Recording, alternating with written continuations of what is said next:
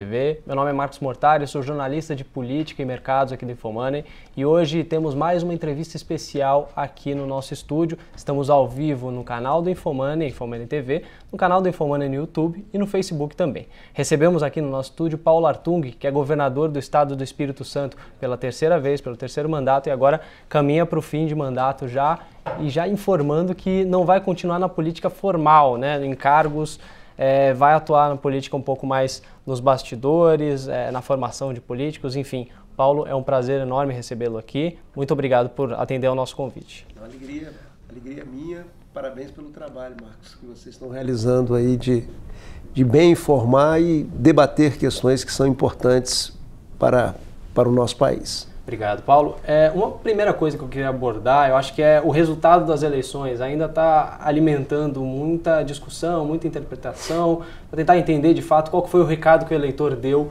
é, nas urnas no mês passado, exato pouco menos de um mês.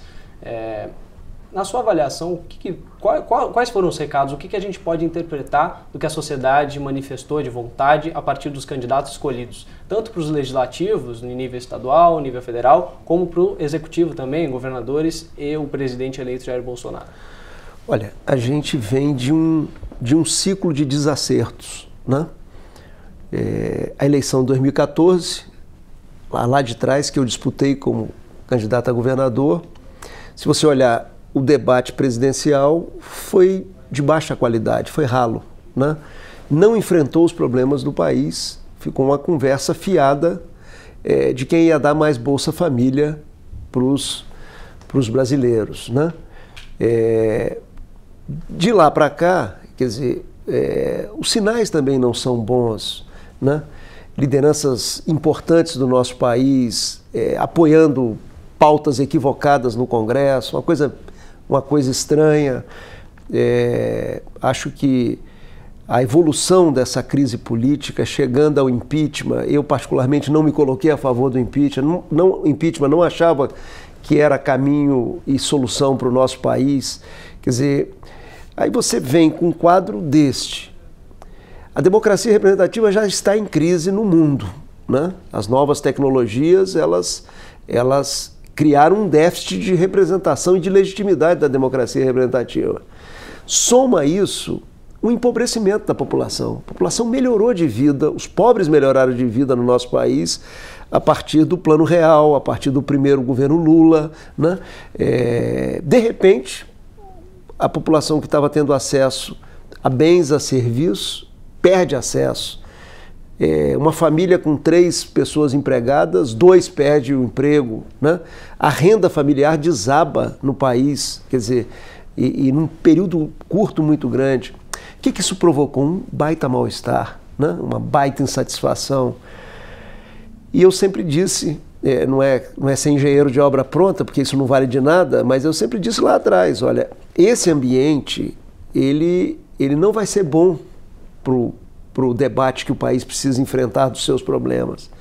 E, e foi isso que aconteceu. Você teve uma eleição presidencial é, que, na verdade, dividiu o país. De um lado, petistas, de um lado, antipetistas, tô, tô, grosso modo. É, os problemas reais não foram enfrentados. O país está vivendo a pior crise fiscal né, da sua história. Isso não foi debatido. O país está literalmente numa situação gravíssima.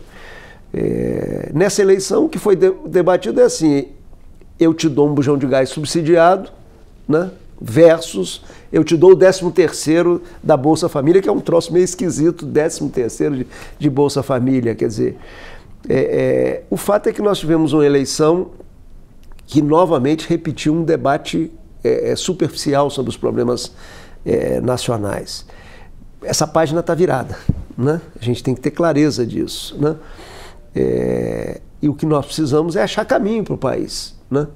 Eu acho que o nosso, o nosso desafio maior hoje, e aí, e aí é muito importante a gente ter clareza, não é, não é, não é discutir organização de partido político, sabe? Não é, é, é assumir posição é, de oposição é, precoce. É, oposição a quê? Oposição ao Brasil? Né? Assim, não faz sentido.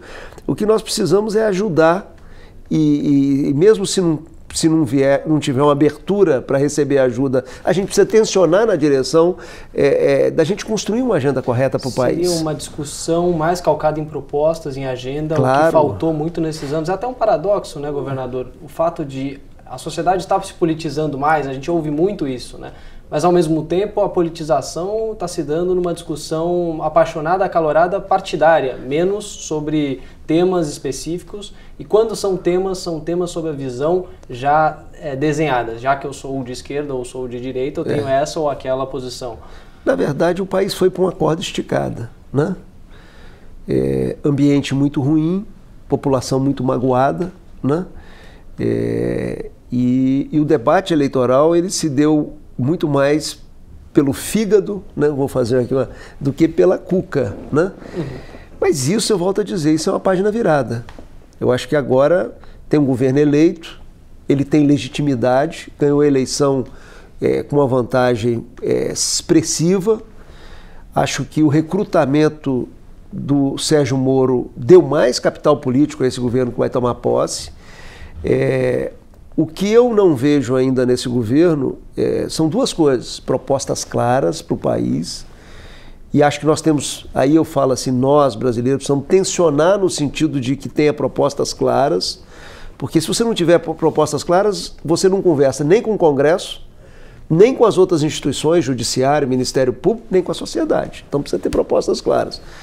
É, e também não tem ainda é, é, pelo menos não demonstra ainda uma capacidade de articulação, porque é, é, isso é muito importante na democracia. A democracia, quer dizer, cada instituição tem o seu papel, quer dizer, ninguém faz nada sozinho. Né? Você precisa é, é, superar a competição implantando a cooperação, para você ter maioria, para você transformar ideias boas, projetos bons é, e, e, normalmente no Brasil projetos bons, ideias boas costumam mofar nas gavetas, né? mas nós precisamos transformar boas ideias, bons projetos em ação concreta de governo. Para isso precisa, de uma boa articulação política, é, não pode ter preconceito. Né? É, é, importante dialogar com, a, com, as bancadas temáticas do Congresso? Claro que elas, elas se impuseram nos últimos anos mas tem que dialogar também com os partidos, tem que respeitar os parlamentares, porque eles são eleitos pela população. É, isso é muito importante, quer dizer, é, é, e eu, eu, eu acho que é isso. Se a gente conseguir colocar o Brasil numa agenda correta, é, o contrário do que a gente viveu nos últimos anos, de, de nova matriz econômica, dizer, é, é, levando a gente de novo para o buraco. Né? É, é, se a gente colocar o país numa agenda correta, eu tenho a impressão eu, eu, eu, eu, tenho clareza da gravidade do problema fiscal do país, mas eu tenho a impressão de que a gente começa a evoluir positivamente, né? É, tanto no governo central, quanto na economia, como nos governos subnacionais. E os governos subnacionais têm, têm, que, têm que entender, não adianta, é, eu fico brincando com essa coisa, não adianta governador recém-eleito achar que ele vai passar o problema dele para Brasília. Né? E Brasília vai passar para quem? Né? Ele tem que perguntar isso. Brasília vai passar para a ONU? Né? Não tem. Nós temos cada um encarar os nossos problemas, é, é, sabe, colocar a mão na massa, né? Tem que cortar despesa, tem que cortar despesa.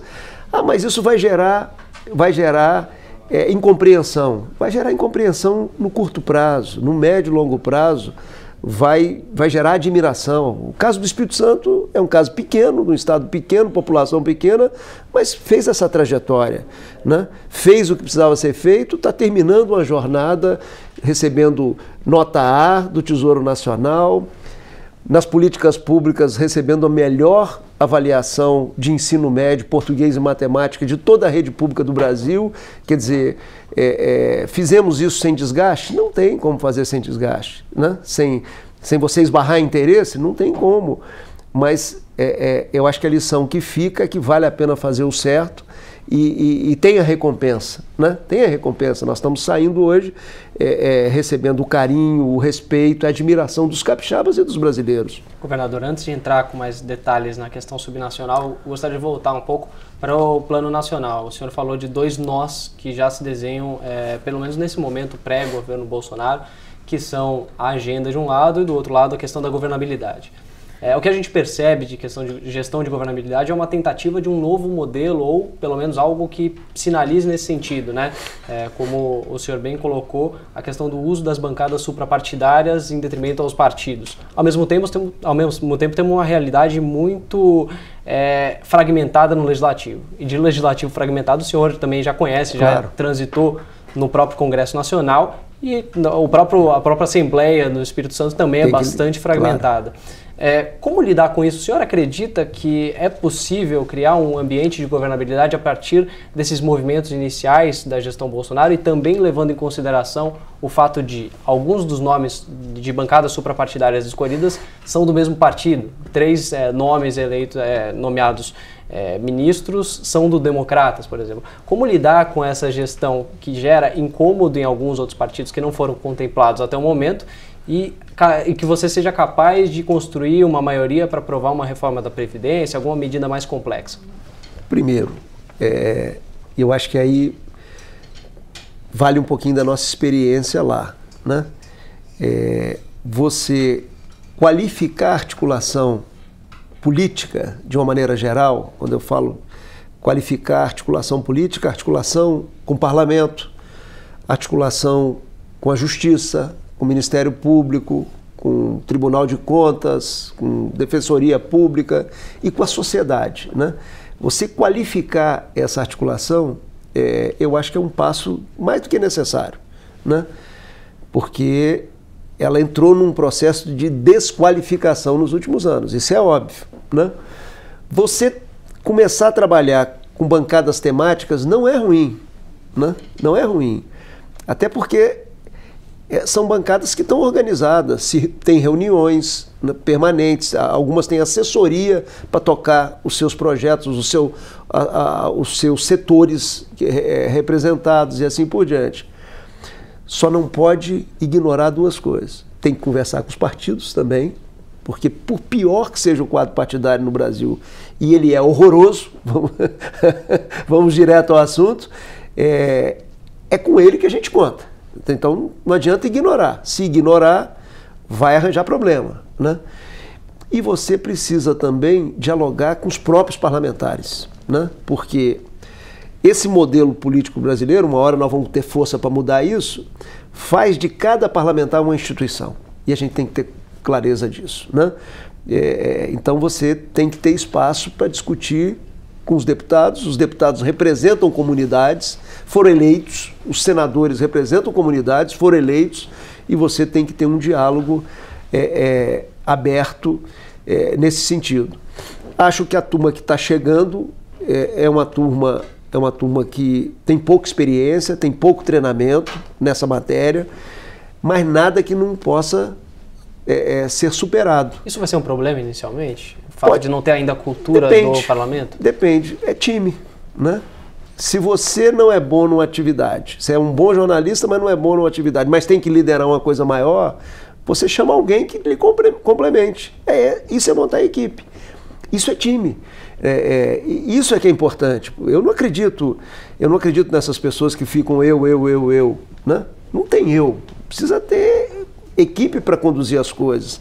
É, pode virar um problema inicial? Pode não. Pode não ser um problema inicial, desde que você supra essas, essas carências. Né? Precisa que o, o, novo governo tenha capacidade de conviver com as instituições em Brasília, com Brasília. Ah, Brasília é uma redoma. É, mas tem que trabalhar com ela. Né?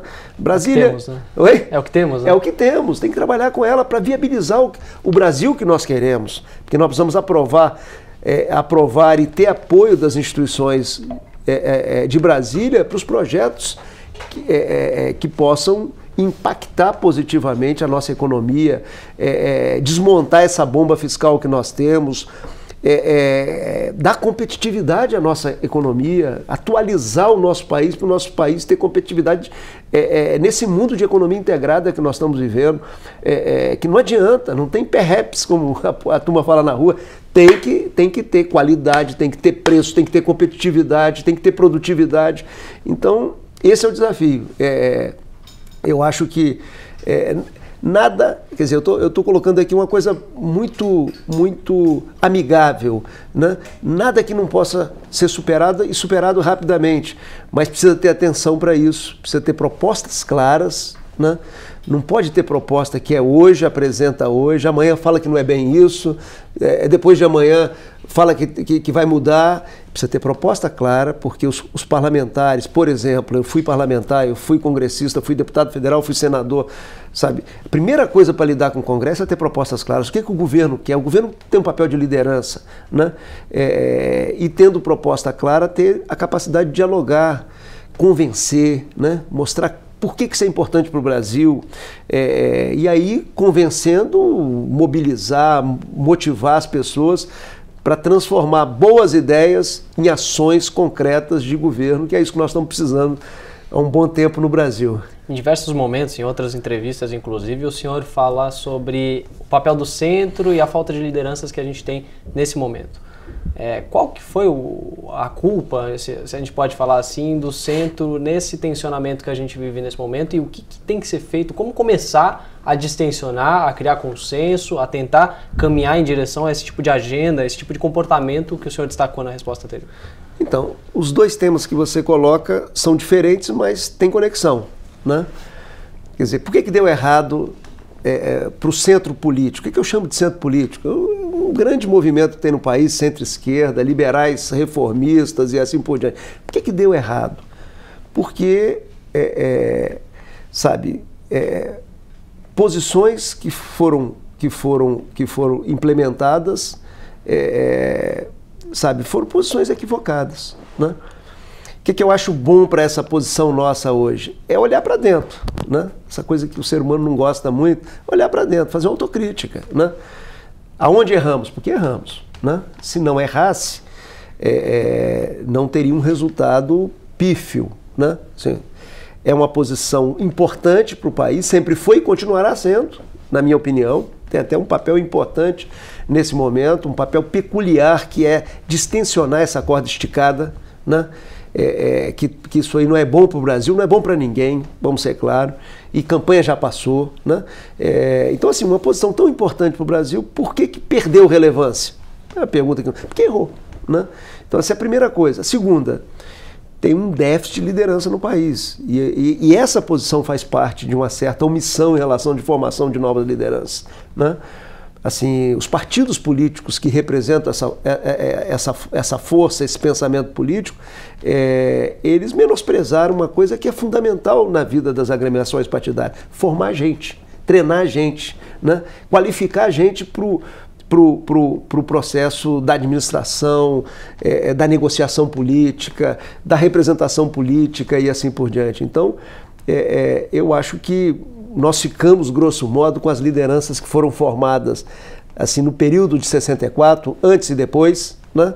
É, e com a turma que foi formada na minha geração, que foi a turma que foi para a rua buscando democracia, defendendo anistia, defendendo uma nova constituição para o país. Quer dizer, esses dois movimentos formaram muitas lideranças. Depois disso, é muito pontual. Né? E nós precisamos fazer um grande movimento de formação, formação de liderança. Eu acho que esses movimentos cívicos, Renova, Renova BR, é, é, sabe, o, o, o, o, Agora, sabe, e, e, tantos outros são movimentos. A Fundação Lema tem um trabalho de formação de liderança. É, é quer dizer, esses movimentos são movimentos importantes que nós precisamos turbinar, né? Para formar novas lideranças, até o momento que a gente vai ter uma estrutura partidária verdadeira, essa não é, na minha, na minha modo de pensar, essa já fez água, né?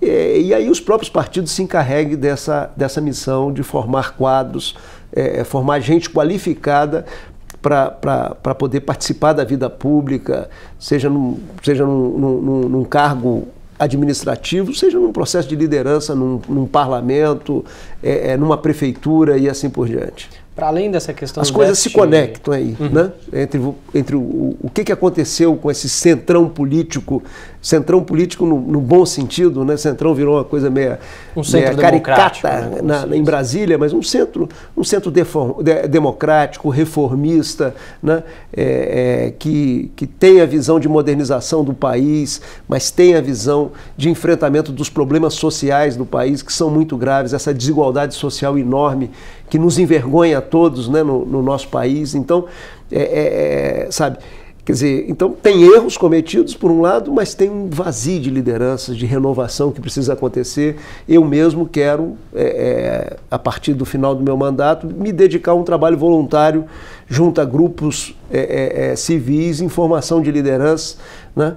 Vou fazer um trabalho voluntário também de fortalecimento da educação básica, que é outro gargalo que esse país tem importante, né? Então eu vou me dedicar à minha vida privada, eu sou economista, vou trabalhar como economista, mas vou fazer um trabalho voluntário aí é, é, que eu acho importante, tanto de formação de liderança, como, como apoiar movimentos importantes que nós temos hoje, que ajudam a, a evoluir com a educação básica, com a formação dos nossos jovens no nosso país. Para além desse déficit de lideranças, é, pautas específicas, quais são as mais urgentes na sua avaliação para o próximo governo, no nível nacional primeiro? Olha, é melhorar o ambiente de negócio, né? de uma maneira geral. Quer dizer, e aí você tem, você tem micro-reformas, né? reformas microeconômicas importantes. Por exemplo, se você conseguir, é, é você não consegue fazer uma reforma tributária nesse momento, né? É, um estado um estado caro demais você tem que fazer uma transição para diminuir o custo desse Estado. Caro e ineficiente, né? Assim, caro e entrega, uhum. entrega mal, né? É, é, mas eu acho que, por exemplo, você, você pode simplificar o sistema, o sistema tributário do país. Isso, do ponto de vista do ambiente do negócio, de negócio, é, é, é um ganho importante, né? É, é, quer dizer, todo o processo dos empreendedores, da forma deles lidarem com as instituições públicas, nós podemos dar uma modernizada nisso. Né? Quer dizer, é muito difícil trabalhar e produzir no nosso país. Né? Você vê um, uma pessoa com uma boa ideia, vai montar uma empresa, é um inferno para montar uma empresa. Estou dando um exemplo concreto. É, um processo de licenciamento de, um, de, uma, de uma empresa, é, seja na hora de pegar licença do bombeiro, autorização da junta comercial, licença da Secretaria de Saúde, é, é e vai por aí, licença ambiental e assim por diante. Quer dizer, é, muitas vezes uma boa ideia ela vai se perdendo porque é, é, isso custa dinheiro, né? É, é, dizer, demora a ficar de pé, às vezes morre no meio do caminho da, da na, na, na, burocracia. Então, você tem aí um conjunto de reformas é, é, é, para você simplificar as coisas e facilitar quem quer trabalhar, produzir. Né? Nós fomos criados numa mentalidade que o governo ia dar emprego para todo mundo. Acho que devagarzinho o país está entendendo que não é isso. Nós precisamos é, é, é, facilitar a vida do setor privado, que aí nós vamos gerar mais empregos, melhores empregos. Né?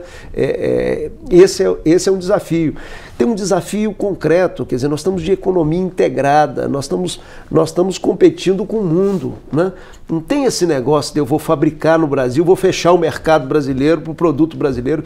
Esse mundo já virou a página. Quer dizer, como é que os produtos brasileiros ganham competitividade no mundo? Quer dizer, olhar esses gargalos todos, né?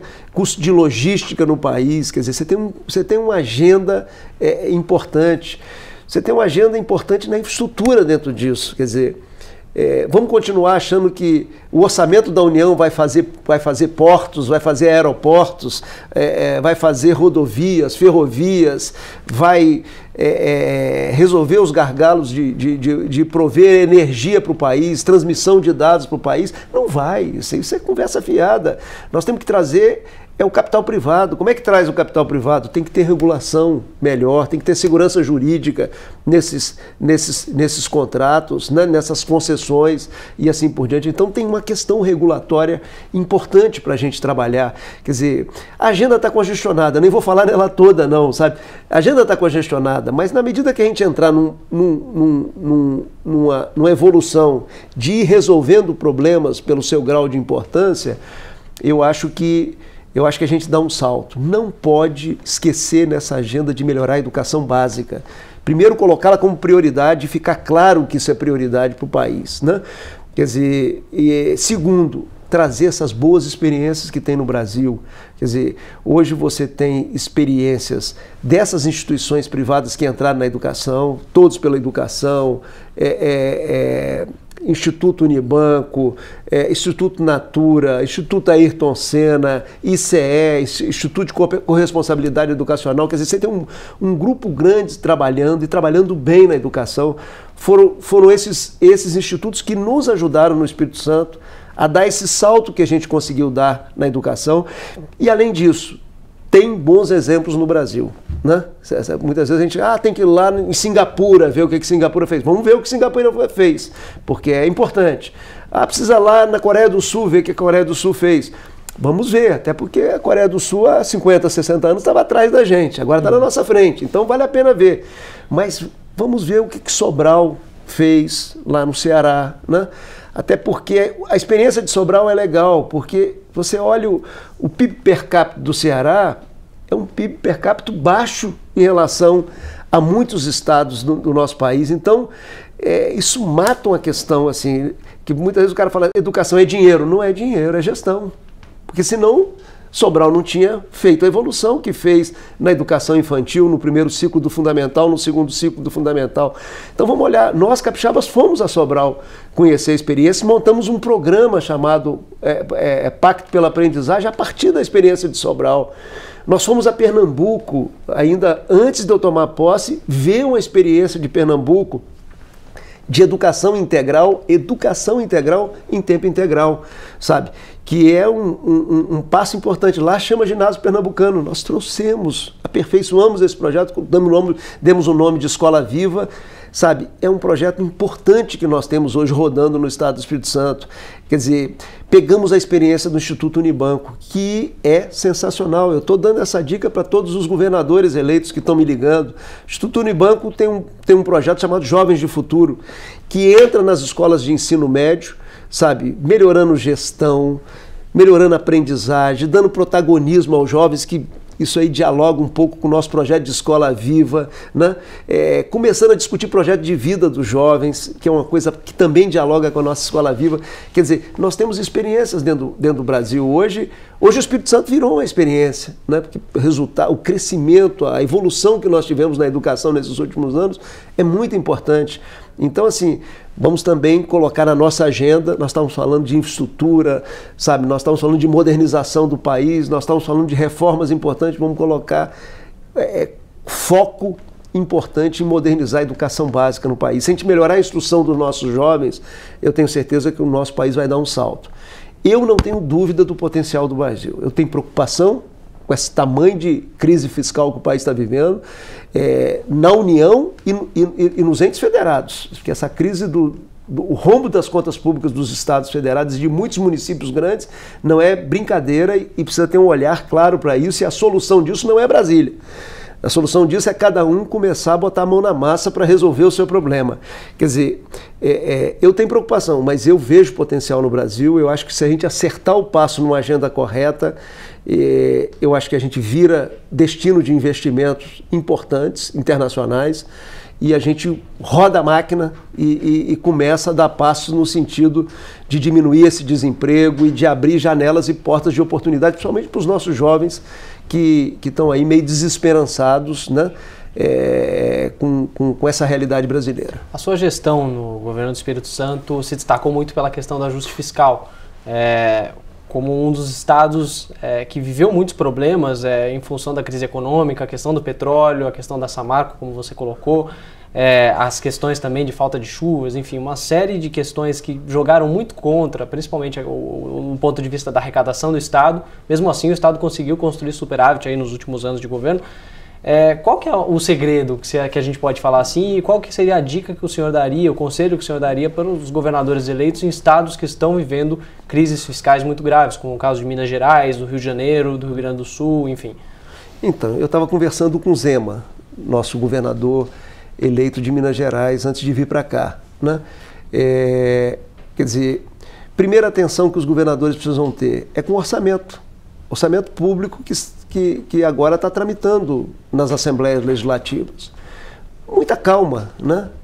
É, se puder, peça aos deputados dessa legislatura que está terminando que não vote o orçamento antes de uma avaliação é, precisa. Né? Porque o que é orçamento público? Você estima a receita com a mão e fixa a despesa com a outra. O problema mora aqui, na estimativa da receita. Porque se você errar a estimativa da receita para maior, você se compromete com uma parte do orçamento que ele vira dinheiro no e outro às vezes dia. O erro é um pouco proposital, até para você poder comprar despesas. Né? se você errar maior, você já dá dinheiro, já, já dá orçamento que vira dinheiro no dia seguinte da sanção do governador é, para cinco instituições: Legislativo, eh, Judiciário, Ministério Público, Tribunal de Contas e Defensoria Pública. Tudo tem, tem, tem, tem, tem orçamento para receber por duodécimo. É, para que todos entendam isso, quer dizer, se eu colocar lá 1 bilhão e 200 para o orçamento da Justiça, 1 bilhão e 200. Então dividiu por 12. Eu tenho que pegar 100 milhões faça chuva, faça sol, tenha receita, tenha arrecadação, não tenha arrecadação, eu tenho que colocar 100 milhões no cofre. É, é todo dia 20 do mês, que é, do, é assim que paga por duodécimo. Então a primeira atenção que precisa ter é com o orçamento, foi a primeira coisa que nós fizemos. Depois tem que olhar tudo, né? Olhar cargo comissionado, é, é, que normalmente tem excesso de cargo é, comissionado nas instituições públicas no Brasil. Você pode contingenciar, eu contingenciei. Tem que olhar designações temporárias, que é uma forma de contratar que, que não, tá, não, não tem estabilidade. Normalmente tem excesso, né? e a gente tem que tirar o excesso. Você tem que olhar os contratos, né? tem muitos contratos é, é, de aluguéis, é, aluguéis de imóveis, aluguéis de automóveis. Você tem que olhar tudo. Você tem que olhar a despesa com viagem, você tem que olhar a despesa é, é, com diária. Você tem que. Eu lá criei uma comissão para tomar conta disso. Toma até hoje. Só passa lá autorizado por essa comissão e uma comissão de secretários. É o primeiro escalão do governo. Então, assim, tem que olhar tudo. É, se fizer o dever de casa de ajustar a despesa, o outro, o outro lado é a receita. Tem que dar uma olhada se a receita não está aviltada, se ela tiver aviltada, por que, que está aviltada, tem conserto, né? é incentivo fiscal é, é, é irregular que foi dado para agradar grupos econômicos, tem que superar isso. Nós tivemos que fazer isso no meu primeiro governo, em 2003. Né? Então, assim, tem um receituário é óbvio para ser seguido. Né? Foi o que nós fizemos no Estado. Por isso é que você, você fala: olha, nós pegamos o efeito da crise nacional, devastadora, crise hídrica, que desorganizou a nossa agricultura, lá a nossa cafeicultura, que é muito forte no Brasil Crise da área de petróleo e gás, diminuiu a atividade da indústria de petróleo e gás no Brasil em função da mudança do marco regulatório e desabou o preço do barril de petróleo. Isso tudo, isso tudo bateu na nossa porta. Quando eu achava que tudo, tudo de ruim já tinha acontecido, essa marco. Você tem aquele desastre lá da, da, da barragem de Fundão em Mariana, aquilo impacta Minas Gerais impacta o Espírito Santo. Minas Gerais é mais ou menos 1,2% do PIB de Minas Gerais, no Espírito Santo 5% do PIB do Espírito Santo, está parado até hoje, três anos parado. Então, assim, com todo esse impacto, você vê o, o resultado que nós colhemos. 2013, nós tivemos déficit. 2014, nós tivemos déficit. Quase um bilhão de déficit em 2013, mais de um bilhão e 400 em 2014. 2015, nós tivemos superávit, no primeiro ano do meu governo. Com tudo isso. 2016, tivemos um pequeno superávit. 2017 virou. A receita voltou a crescer. Com a receita voltando a crescer, a gente pôde voltar a investir. É, conseguimos fazer pelos nossos servidores públicos, conseguimos implantar uma antiga reivindicação dos servidores que era auxílio alimentação para todos. Corrigimos o valor do auxílio alimentação, quer dizer, então quando começou a melhorar a arrecadação, a gente não teve que olhar para trás. As contas para trás estavam todas pagas, a gente pôde olhar para frente. O ano passado nós já fizemos um investimento importante com recurso do Tesouro. É, e fizemos também uma parte com operações de crédito. Esse ano nós estamos passando de bilhão novamente de investimento. 800 dinheiro do Caixa, recurso Tesouro, que faz uma diferença danada é, é, na administração pública. Então, assim, é, é, é nessa direção. Evidentemente, se agora, com esse ambiente político no Brasil, a gente conseguir fazer a reforma da Previdência, que isso vai impactar o custo da máquina pública, é, e conseguir fazer uma reforma do Estado brasileiro minimamente, né, é, que mude essa coisa de estágio, estágio probatório, é, relativize a questão da estabilidade no emprego do servidor, precisa criar um, um modelo mais flexível para essa estabilidade, quer dizer, é, que dê ferramental ao gestor público para corrigir as contas na hora que estoura o gasto de pessoal, como, como, como, como dita a lei de responsabilidade fiscal, vai ficar mais fácil ainda da gente poder ter é, é, governos subnacionais organizados, com capacidade de investimento com recurso próprio, ou seja, com capacidade de chegar na vida do cidadão, impactando com a educação pública melhor, com a saúde pública melhor, com a segurança pública funcionando, com, com as estradas tendo manutenção e assim por diante. O senhor tocou na reforma da Previdência, acho que é um dos temas aí que alimenta mais paixões aí no, no momento atual e que cada um tem o seu modelo preferido, né? É que nem reforma política, né? Todo mundo tem algum modelo preferido, enfim. Qual que o senhor acha que talvez seja o caminho, pelo menos inicialmente, para a gente construir Olha, alguns consensos? Idade mínima, não sei. Se eu, assim, se eu, primeiro como proposta, se eu tivesse que apertar um botão aqui e falar assim, qual a melhor proposta que você leu é, de reforma da Previdência? Essa do Paulo Tafni com Armínio Fraga. Com Armínio Fraga. Assim, pelo tamanho da crise fiscal que nós temos no país, ela tem a velocidade que nós precisamos para tirar o país dessa encrenca que o país entrou nesses últimos anos. É, então, assim, eu acho que tem um modelo bom, né? Evidentemente que essas coisas têm que ser negociadas, como eu disse anteriormente. Você me pergunta qual a questão que tem centralidade? É a idade mínima. Isso é, isso é óbvio, quer dizer, é, quer dizer, nós estamos vivendo mais, nós humanos, né, graças ao, ao, aos avanços da ciência. Estamos vivendo mais, melhor, né? É, isso é muito bom, mas isso torna é, insustentável o modelo previdenciário existente no nosso país. Então, é, é, nós precisamos trabalhar um pouco mais e aposentar um pouco mais na frente. É isso. Né? É, isso pode ser feito com regra de transição? Pode, mas precisa ter cuidado, porque senão não tem o impacto que precisa ter do ponto de vista fiscal. Agora, tem um lado da reforma da Previdência que é pouco discutido no Brasil. Né? O lado fiscal, eu acho que até já ficou um pouco mais claro. Tem um lado de justiça social. Tem um lado de combate à desigualdade social, que é uma chaga do nosso país. Inclusive, seria o lado mais fácil para você convencer uma reforma. Né? Claro, mas ninguém mostrou. Quer dizer, é... quando você fala para uma pessoa assim: olha, você sabia que uma pessoa de classe média está está aposentando 10 anos antes de um pedreiro, leva um susto. Mas é a realidade. Quer dizer, como é que um pedreiro que tem, que tem uma atividade pesada, é, é uma atividade profissional pesada, vai aposentar 10 anos de quem tem uma atividade de escritório? Né? Não faz sentido, isso não é justo. Né? Eu não estou não tô nem falando do valor da aposentadoria. Quando chegar no valor, aí que você vai ver como é que, como é que o Brasil é um país é, de privilégios e de privilegiados. Quer dizer, é, é, mas o tempo de trabalho. Então, assim, eu acho que nós precisamos escancarar isso aí no debate da Previdência, porque a Previdência atual, a pública, essa é a mais absurda de todos, a, a, do setor público e do setor privado ela, ela, ela enseja um conjunto de privilégios na sociedade que, na verdade, joga na direção de manter, de manter uma distribuição de renda horrorosa que nós temos no país. país é, é, é um país de renda concentrada na mão de poucos. Né? É, é, então, assim, eu acho que nós precisamos abrir essa caixa, né? discutir esses números é, e essa realidade e ficar claro para a grande maioria dos, do, dos cidadãos brasileiros que fazer uma reforma da Previdência ganha a grande maioria. Perde pequenos grupos. Ah, mas são grupos muito organizados. São. No Brasil é assim.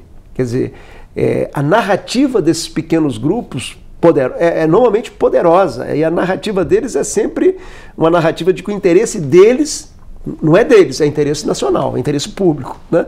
Parece ridículo o que eu estou falando, mas é assim que é trabalhado e muitas vezes até convence né? porque trabalham bem a, as suas respectivas narrativas e o que nós precisamos é é estabelecer uma narrativa clara de justiça social, de fazer um país realmente para todos e não para grupos privilegiados, pequenas corporações e assim por diante. E a reforma da Previdência opera num dos, num, num dos mecanismos de distribuição de renda que nós precisamos é, é, ter no país, é, é, num país que, que, precisa, que precisa começar a vencer a desigualdade, a desigualdade absurda que nós temos do ponto de vista é, da renda no país. Governador, pensando nos seus três mandatos, a sua experiência como governador no estado do Espírito Santo, qual foi a experiência mais difícil é, durante essa gestão? Foi aquela crise com os policiais da, dois anos atrás, quase dois anos atrás? Eu acho que teve dois momentos difíceis. Estou falando já dos três mandatos, né, se você me permitir. Claro. É, o início do primeiro mandato foi muito difícil. O Estado estava quebrado. É até bom contar isso aqui. Duas folhas atrasadas. É, devia, devia aos fornecedores. Fornecedor de remédio não recebia devia aos, aos prestadores de serviço. A dívida de curto prazo do Estado, né, ela, ela significava quatro receitas brutas do Estado. É como se eu pudesse parar o Estado quatro meses, não, não, não fazer novas despesas para pagar aquela conta. Então, assim, é, é, era um momento duro. O Estado é, mergulhado numa teia criminosa que caracteriza o crime organizado. Logo nos primeiros meses do meu governo, eles assassinaram um juiz que lutava contra a bandalha no, no Espírito Santo, Luiz, o juiz Alexandre Martins. Então, assim, foi um momento desafiador, porque estava iniciando salário dos servidores atrasados, uma confusão danada, e, e você vê uma pessoa é, ligada aos direitos humanos, ligado à, à luta moralizadora no Estado, ser assassinada. Então, assim, momento dificílimo. Assim, é, e, e, não me faltou é, é força, energia e, e, e determinação de liderança para conseguir levar o Estado para frente. E superamos todos esses episódios e organizamos o Estado. A crise agora da greve da, da, polícia, um outro momento difícil. Eu estava eu tava aqui em São Paulo sendo operado quando eclodiu a greve. Eu, eu tive um câncer na bexiga, estava no centro cirúrgico, quando, quando, quando eclodiu a greve. Quer dizer, eu tive que sair daqui de São Paulo ainda em, em processo de recuperação, ainda fragilizado, voltar para o Estado e assumir a liderança do Estado, enfrentar o problema, abrir diálogo, mas exercer autoridade, é, é, colocar fim no movimento, reorganizar a polícia depois do fim do movimento, que eu fiz uma lei é, é de reorganização do processo de promoção da polícia. Eu, eu, troquei o que existia na lei muito antiga no Estado, que era tempo de serviço para critério de promoção, e introduzi a meritocracia, né, que, deu, que deu mais governabilidade à polícia, deu mais, deu, mais, deu mais governabilidade ao comandante da polícia, ao alto comando da polícia. Foi muito importante essa experiência nossa. Então, assim, são dois momentos desafiadores. Né? Hoje no aeroporto, uma senhora veio me abraçar, né, me dar os parabéns por, pela qualidade do governo que nós estamos terminando e falou assim: puxa vida, ainda bem que Deus te protegeu naquele momento, né? uma pessoa de fé, e você não cedeu aquilo ali. Se cedesse, nós éramos, nós éramos hoje a cara do Rio de Janeiro. Né? E é verdade. Né? É fácil? Não é fácil. Né? É... Fácil é seguir o caminho da demagogia e do populismo. Né? É, é desafiador seguir o caminho certo. Né? Isso isso, isso vale para tudo. Você vai criar filho, quem já criou filho pequeno sabe. Né? Você vai ensinar uma coisa ao filho, ele faz pirraça. Você, você insiste, ele se tranca no quarto, não, não almoça com a família. Né? E o que, que você tem que fazer como pai ou como mãe que pensa no futuro do seu filho? É, abandonar a narrativa da, da educação dele? Não, até procurar uma outra narrativa, mas educá-lo para a vida, porque daqui a poucos anos ele volta para agradecer. Né? É, é, quando você pensa em pai e mãe, você pensa em liderança. Criar filho é um gesto de liderança. Né? E está faltando liderança nesse país nosso. Né? Liderança que tenha coragem de plantar né, na diversidade, conviver com incompreensões, porque não tem como fazer coisa importante na vida se você não vai conviver com incompreensões, porque esbarra esbarra na zona de conforto, no interesse, é, no interesse muitas vezes ilegítimos, ilegítimo, muitas vezes até um, um interesse é, é, que tem a ver mas que não, é, não, não, não, não, não pode ser abrigado pela sociedade nesse momento. Né? Então, assim, você tem que ter disposição para fazer isso, né? para plantar, cuidar, estou né? usando a linguagem dos agricultores, né? para poder colher. O Estado do Espírito Santo é um exemplo bom disso. A gente plantou, né? tomamos canelada, convivemos com incompreensões, mas hoje estamos colhendo. Né? Quer dizer, o único estado do país que recebe a maior nota do Tesouro Nacional, nota A. É, você vai nas políticas públicas, chega na saúde, nós estamos com expectativa de vida chegando perto a Santa Catarina, que está em primeiro lugar. Né? Mortalidade infantil em queda nesse período difícil que o Brasil viveu, que muita gente, muitos estados federados voltaram a ter crescimento de mortalidade infantil, mortalidade infantil em queda, quer dizer, homicídio em queda. Né? Nós recuperamos a governabilidade depois da greve. Estamos vivendo esse ano, é, até o último dado que eu tive, com indicadores de, de homicídio que são os menores é, nos últimos 29 anos no estado do Espírito Santo. Então, assim, é, vale a pena fazer o certo. Não é fácil, estou repetindo, é, é, mas é o que o país precisa, né? seja no Espírito Santo, seja em Minas, eu estava conversando com, com, o governador Zema agora, é, no Brasil inteiro. Eu acho que nós precisamos, nós precisamos fazer isso, porque é isso é que vai transformar o enorme potencial que esse país tem, e é grande mesmo, né? É, é, não é arrobo de, de brasileiro, nós temos potencial, é, é, mas é isso que vai transformar esse potencial em oportunidades, principalmente para os nossos jovens. Volto a dizer, estão desesperançados com o nosso país de novo. É, e nós precisamos acender uma luz aí de esperança para essa meninada, porque é, é, esse é o nosso olhar para o futuro do Brasil. São as futuras gerações. Governador, muito obrigado pela sua participação aqui. Agradeço até em nome dos nossos leitores, devem ter acompanhado essa entrevista. Vai ficar disponível no YouTube, no Facebook, no nosso site também. Se quiser assistir de novo, fique à vontade. No Spotify também terá a gravação dessa entrevista. Mais uma vez, muito obrigado e boa sorte nessas próximas caminhadas na política, fora de um mandato, né? Agora como é, tentar, tentando ajudar na formação de lideranças, enfim. Muito boa sorte. Eu é que agradeço e parabenizo aí o bom trabalho que vocês estão fazendo. Obrigado, obrigado a você que nos acompanhou até aqui. Muito obrigado pela audiência. Espero contar com a sua participação no nosso próximo programa. Até lá.